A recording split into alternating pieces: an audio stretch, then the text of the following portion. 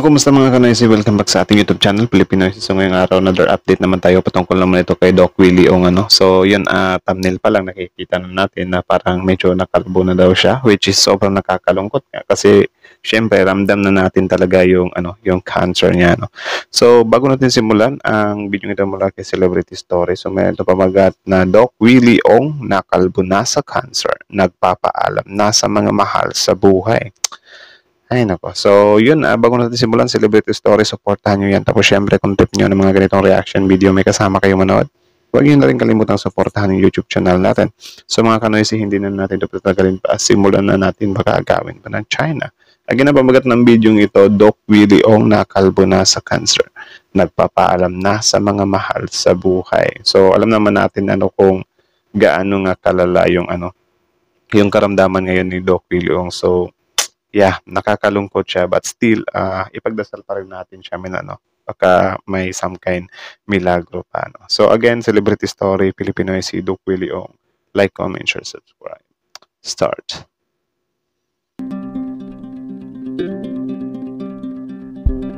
Yan na, may call siya. Celebrity Isang story. malungkot na balita, Dr. Willie Ong isa-isa nang tinatawagan ang kanyang mga kaanak at mga mahal sa buhay at malalapit na kaibigan upang muling makausap at tila para na rin makapagpaalam hanggat may pagkakataon pa. No? Ito ang ibinahagi ng kanyang inaanak na si Juninho Padilla. Ngayong araw ng Martes, September 17, ibinahagi ni Juninho ang naging conversation nila ni Doc Willie na kanyang ninong. Makikita sa mga larawang ibinahagi na nalalagas na ang buhok ni Doc Willie epekto na rin ng Actually, akala ko edited lang to eh. Pero I think totoo nga pala siya, no? chemotherapy sa kanyang sakit na cancer.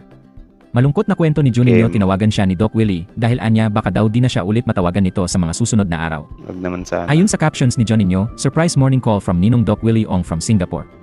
Laban lang po. Doc Willie, anong balita sa'yo? Bonito, ito nung ginaya ka nag-vlog podcast na din Doc Willie. Okay yan, political talk, picture tayo, sabay tanggal sombrero. Nagkikimo na ako, Bonito, laban lang nong. Doc Willie, Grabe, nakasakit niya na, no? Surprise morning call from Ninong Doc William. Siya na tumawag. Siya pa nagtanong kung anong balita sa'yo. So parang kinukumusta niya na nga yung mga mahal niya sa buhay. Ano? Or yung mga, you know, mga kakilala niya, mga friends, whatsoever. Grabe, sobrang ano men. Sobrang, ay, ewan ko, di ko ma-explain. Tinawagan lang kita, baka di na kita matawagan uli. Bonito, nung gagaling ka pa, laban lang nong. Marami naman ang nagpaabot ng kanilang mensahe para sa agarang paggaling ni Doc Willie. Samantala ngayong araw din ng Martes nang ibinahagi ni former Manila Mayor Isko. Moreno na dinalaw niya sa Singapore ang kaibigan at dating running mate sa eleksyon, nagpakuha pa ng larawan ang Bote naman, bote naman at ano, ah, binisita din siya ni ano, Isko Moreno ano. Kasi ano eh, ah, magkatambal nga sila. dalawa, captions ni Yorme. Nagkita kami ni Doc Willie Ong here sa Singapore. Mahina pa siya at marami pang chemo sessions ang gagawin sa kanya. His message to all his followers and those who believed in him, mahal daw niya mga kababayan natin Pilipino at hanggat malakas siya, hindi daw siya titigil ng tulong sa taong bayan at sa bansa hanggang sa dulo. Yun, nice, nice. Praise the Lord. High fever. They check my WBC. Sabi niya, paano ka nabuhay? Your WBC is zero. My BP was no? low. 85 over 60. Dehydrated. Sepsis. Vasodilation of the artery from possibly E. coli. Ow. Sakit niya. Sakit niya. Sakit ng buko. Grabe. Napapaiyak siya sa sakit. Doon na-react na natin tong video ito sa yung whole video talaga. No? So, ewan ko kung ano lang ba to, whole video lang din to. Panoorin natin pa. Kamusta po sa mahal kong followers? How are you? Update ko lang po kayo sa condition ko ha. O, walang iyakan muna, buhay pa naman ako. So today, ginagawa ko tong video, September 11, 2024. What time is it? Uh, 11 a.m. 10 a.m. Okay, 10 a.m. You know, parang may transformation po sa akin. Hindi ko alam. Parang, alam niyo, gabi-gabi, parang may pumapasok na spirito dito. Hindi ko alam ano nangyayari. At meron ako mga So, nakita. parang ano pala siya, parang may ano, ang ibig sabihin niya siguro yung parang kinikilabutan yung ulo niya. Alam niyo naman siguro yung mga feeling na ganyan. ano. Kita ko, kwento ko sa inyo. Sabi nga nila, yung mga may cancer patients, I have sarcoma. Para sa mga doktor, you can use me as your case study din, ha? Okay lang po, hindi ako magagalit. I will allow it. Use Doc Willie on case study. Ganito yan. Ah, my diagnosis is sarcoma. one of the most hardest cancer to treat. It is 16 centimeter by 12 centimeter by 13 centimeter hidden inside my abdomen. The cancer Grabe. situated itself in a very tricky and devious manner. It started from the T10, T11 spine. It grew to 16 centimeters. This sarcoma, it is so destructive. It blocked half of my I think tapos na natin nung mga nap- napanood, men.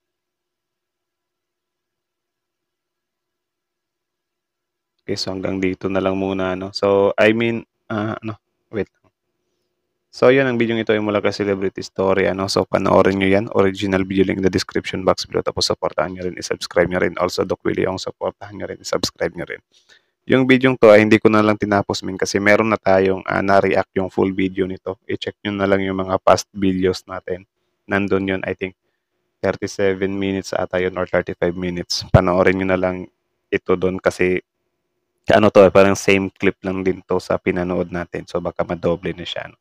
So dito lang tayo nagka-focus ngayon sa nung nakalbo nga si Doc Willie yung, di ba? So sobrang sad nun.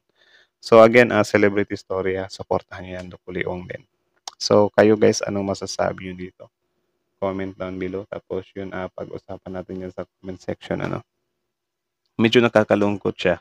At the same time, kahit na ganyan na yung ah, sitwasyon niya is parang dinadaan niya lang talaga sa biro na like, "Uy, wag mo na kayong, wala mo nang iyak dito ha, hindi pa naman ako mamamatay, something like that.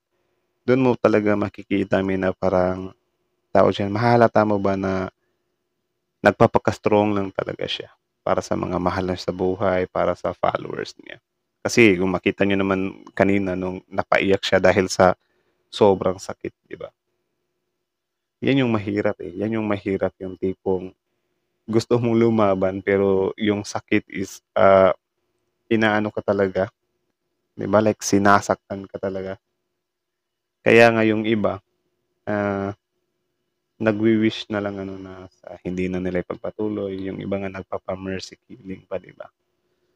Kasi ano eh, ah, sobrang hirap talaga sa kanila yung mga ganyang ano, ako nga gin, sobrang natatakot nga ako if ever na mapunta na ako sa time na ganyan or you know, hindi natin alam, 'di ba? Na yung tipong times 10 or times 100 yung pain na nararamdaman mo.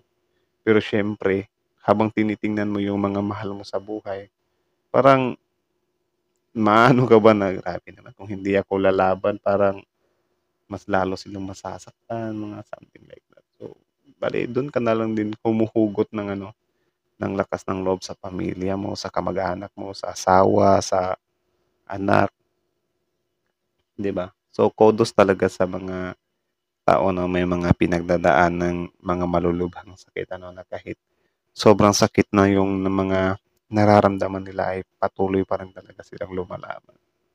Sobrang kudos sa kanila.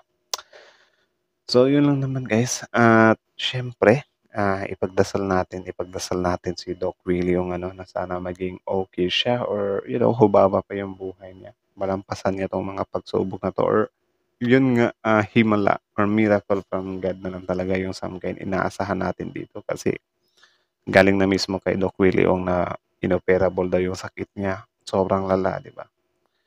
But yun, kasi I think nakakalungkot. Kasi iba talaga yung ano, iba talaga yung presence ni Doc Willie Ong pagdating sa mga medical tips eh. Parang siya yung some kind OG ba? 'Di ba? But still, nagpapasalamat din tayo kay Doc Willie Ong kasi meron din siyang mga ano ba, mga na-inspira na mga doktor din na magbigay din ng mga health tips dito sa YouTube ano. So ano some kind nagbigay pa rin siya ng ano ba, tawag diyan, some kind legacy ba 'yan? 'Di ba? So kudos pa rin talaga, kudos.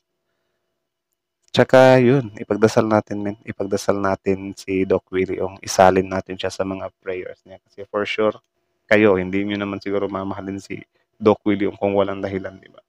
Kasi ako, yun nga, ah, minsan na rin ako natulungan sa mga videos niya. Yung mga videos niya yung nagbigay ng hope sa akin. Yung tipong wala kang pera na pampunta pang konsulta sa doktor. Nakita mo lang yung tips niya. At least may mga ano ba, some kind mga home remedies ka na na ano, 'di ba? Tsaka libre. libre kasi napanood mo lang siya sa YouTube. 'Di ba? So kudos, thank you, thank you kay Doc Willie Ong. So, yeah, that's it. Thank you so much for watching guys. So again, Doc Willie Ong, support nyo rin yan guys. Like, comment, share, subscribe. Filipino ICs up.